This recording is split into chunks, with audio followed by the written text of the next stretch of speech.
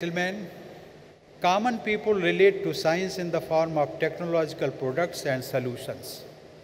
These are, of course, essential to fill many of our societal gaps. However, the obligation of scientists is not simply to create applications for fellow citizens.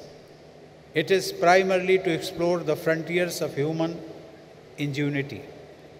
Blue sky research and innovation for its own sake and for examining unknown and undiscovered limits of our universe represent the magic of science. These have led to unplanned findings with unimaginable implications. This is how science has advanced over centuries.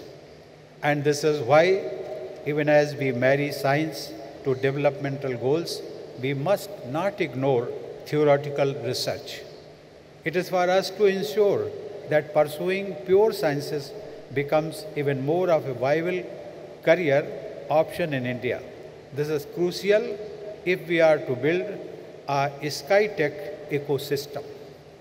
Science is, science is done best when it is collaborative venture with resources, including funding resources and facilities being shared. This is the era of partnerships between research centers and universities.